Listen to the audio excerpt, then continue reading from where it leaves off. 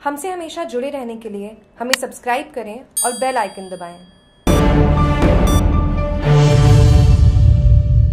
जैसलमेर के लिए ऐतिहासिक क्षण विश्व का सबसे बड़ा ध्वज फहराया गया आर्मी डे पर। जम्मू कश्मीर पर लह के बाद जैसलमेर में तीसरा सबसे बड़ा ध्वज फहराया गया। भारत पाक सीमा से सटे सरहदी ज़िले जैसलमेर ज़िले में फिर से एक इतिहास रचा।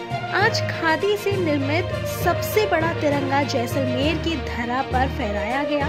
इस मौके पर कार्यक्रम के मुख्य अतिथि के रूप में बैटल एक्स डिवीज़न के GOC major general Yogendra Singh ने बटन दबाकर विश्व प्रसिद्ध तिरंगे को फहराया।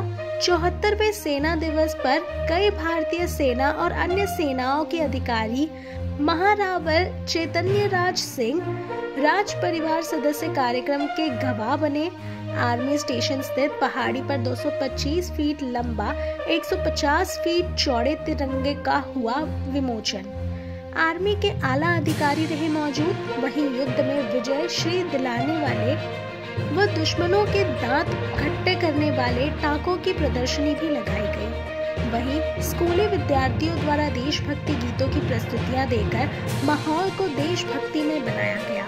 जागरूक टीवी की जैसलमेर से खास रिपोर्ट।